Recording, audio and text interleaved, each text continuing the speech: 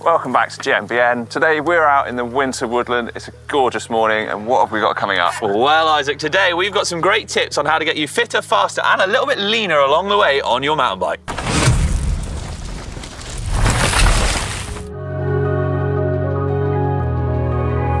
Now, it's often said that to lose weight, you need to burn more calories than you take on. That's right. However, it is a little bit more complicated than that. With our bodies all working in a balance, it's more complicated than a heating system or a savings account. If you restrict that intake, you can actually end up putting weight on, you slow your metabolism down, you get more tired and slow, and get heavier despite fasting.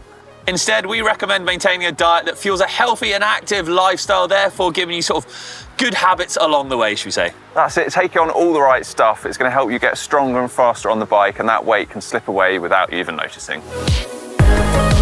Try to stay away from processed and super sugary foods, as well as excessive alcohol.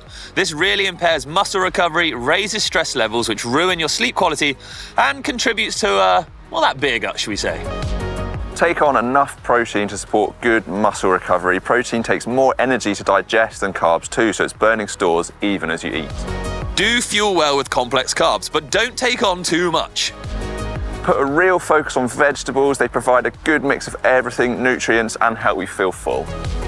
Eating plenty of fresh fruit will help you replenish glycogen stores and provides plenty of good fibre. Of course, we can't do without a bit of fat too, and natural unsaturated fats such as you find in avocados, nuts, seeds, fish and olives are good stuff to aim for. Winter miles, base, unstructured riding. Now, training has evolved from simply just hacking around all winter from November to February at a slow speed, but getting out for those steady pedals is still a really good way to start building fitness.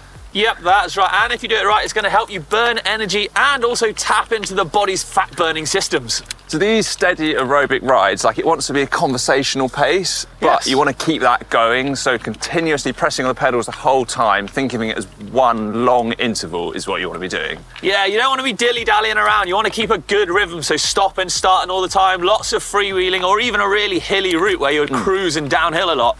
You're not really going to see the benefits from it. You keep the intensity under wraps to rely on your slow burn, like fat stores, and that ability on the bike. Because if you raise it too much, you're pressing on for too long, you end up burning too much glycogen, depleting all your carbs, and running out of energy far too soon.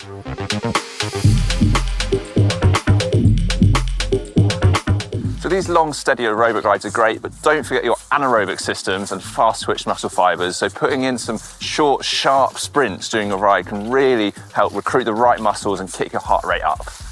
Yep, and the boost that this gives your metabolism can actually last longer than the ride. So you're going to keep burning fat long into the day. And this can be done a number of ways by short, sharp sprints, sort of efforts, and sprinting in and out of turns.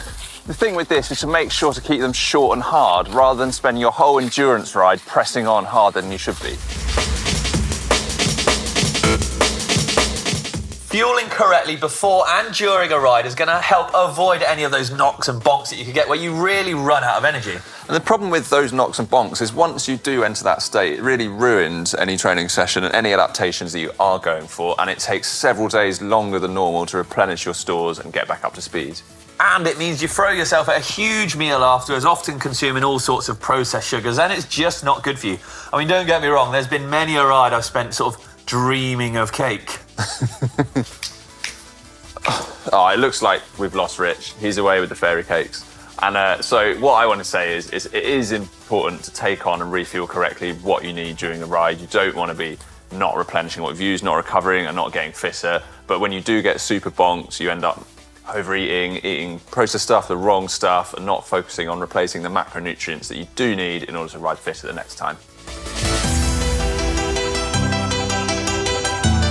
Mixing it up with cross training is a really great way to boost that metabolism and enthusiasm. Running is a really efficient way of getting the intensity in! Running, it gives you that post runner's high buzz that you don't really ever get from cycling. It also gives you amazing bone density and functional impact strength that you don't get so much from cycling. So working on that and stuff like indoor rowing machines as well for that cardio in a short, efficient amount of time.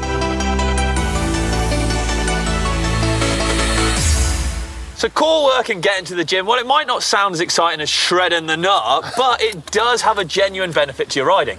It really does. That muscular endurance and explosivity is what you want to focus on because you need you need to be really strong to deal with all the holes, but you need that to last for a whole trail and have the strength and endurance to last to the bottom and also have a strong core to anchor the legs as they power those pedals around.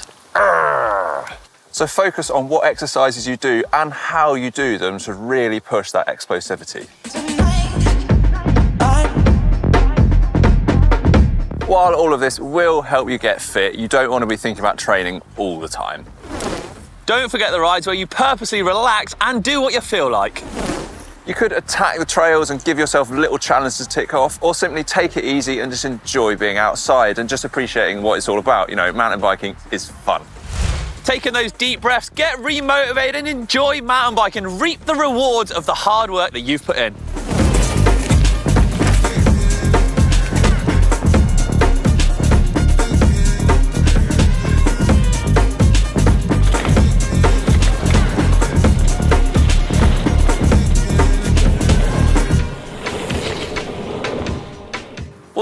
Some great tips to hopefully get you a little leaner, a little lighter, maybe, and faster out on the trails. Just remember, all that really matters is getting out and having a great time on your bike, which is what we're going to do. So see you next time. Cheers.